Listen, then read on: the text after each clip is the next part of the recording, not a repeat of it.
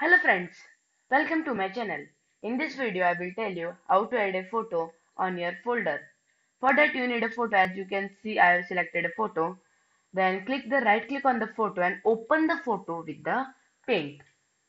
After opening of the photo, click on the resize button and select pixel and off this main aspect ratio. And on the size of the horizontal and the vertical type 60 because the icon size is small and click OK. After that it will look like this and now you have to save it file as a save as and you can give any name to the this image and I am giving photo name and type dot and ICO. Friend this ICO is for icon. Now as save as type in this you have to select 24 bit map and save.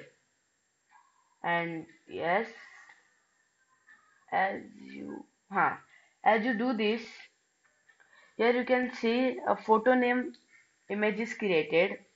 Now we can delete it but I am not deleting it.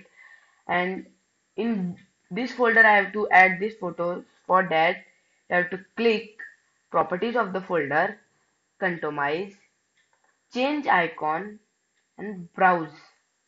On the browse you have to click photo and open. As you click icon it open then click OK, apply and OK. Friends well you can see how this work and it is easy and it also look attractive. So if you like the video please like my video and subscribe my channel. Thank you.